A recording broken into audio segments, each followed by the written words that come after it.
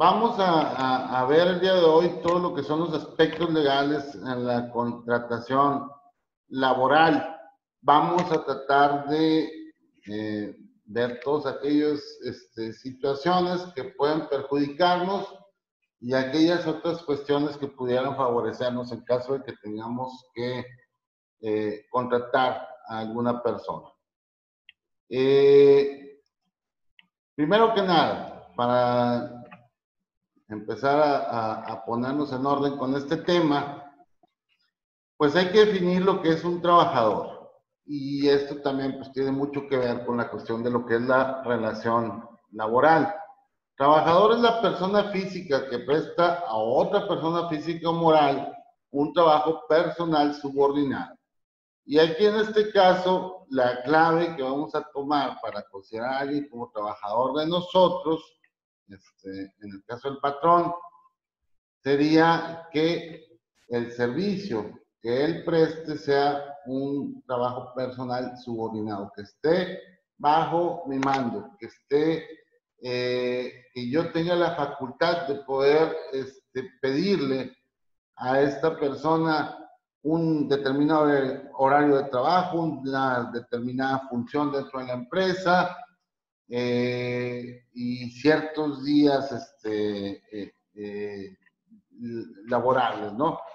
Entonces, ahí es cuando estamos hablando de la cuestión subordinada de la relación laboral en relación al trabajador. Entonces, así es como vamos a entender eh, eh, lo que es un trabajador. Para entender lo que es la relación laboral, aquí le agregaríamos esta definición, que es prestar un trabajo personal subordinado a una persona físico-moral a cambio de un pago eh, o de una remuneración.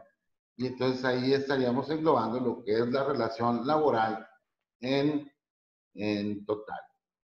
Muy bien, vamos a pasar a la siguiente gráfica.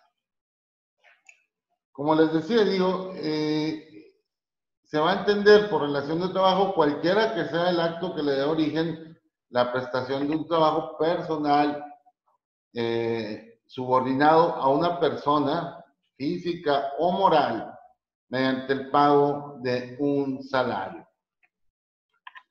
Eh, vamos a ver aquí que esto es la relación de trabajo, lo que viene a ser el contrato individual de trabajo, que es lo que vamos a, ver a continuación, sería aquel por, en virtud del cual una persona se obliga a prestar a otro un trabajo personal subordinado mediante el pago de un salario. Si ustedes ven la relación de trabajo con o sin contrato, eh, va a existir siempre que existe esta subordinación y este pago de salario.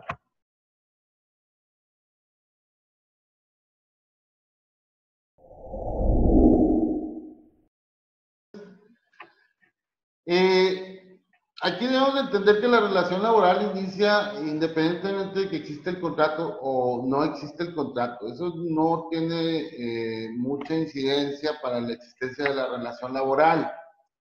Eh, regularmente, la mayoría de los patrones y sobre todo cuando se trata de pequeñas y medianas empresas, tiene miedo a celebrar un contrato eh, laboral con su personal, pues por muchas razones, ¿no? Una de ellas es pues, para que la, la, otra persona no justifique lo que es la existencia de esa relación laboral en primer lugar, y en otros casos, pues para que no se justifiquen ciertas prestaciones o el pago eh, real del salario, porque también tenemos que tomar en cuenta ahí que a veces el trabajador está dado de alta con cierta cantidad ante el Seguro Social y en el contrato o en el acuerdo que tienen con el eh, patrón o con el empleador, hay una diferencia eh, entre uno y otro. Entonces, muchas veces se prefiere no hacer el contrato eh, laboral, particularmente por estas razones, pero realmente es más útil de lo que parece. Eh, al contrario, perjudica más el no tener el contrato laboral que el, el, tenerlo. Eh, y aquí podemos observar algunas cuestiones, ¿no? Eh, cuando yo tengo, cuando yo no tengo el contrato laboral,